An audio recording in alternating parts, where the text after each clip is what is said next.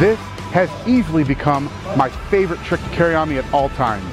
I never leave the house without it. You take a bill out of your wallet and you proceed to tear a corner off.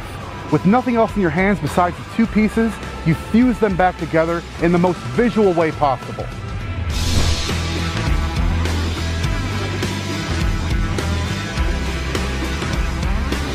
You're a gangster, dude. Is that pretty cool?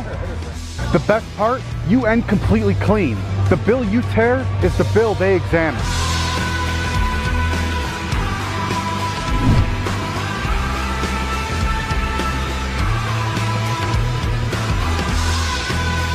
The gimmick is self-contained, it can live in your wallet, and that allows you to perform anytime, anywhere.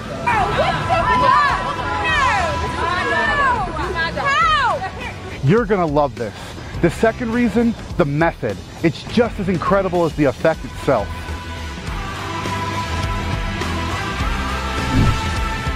I'm Nicholas Lawrence, and this is Revamp.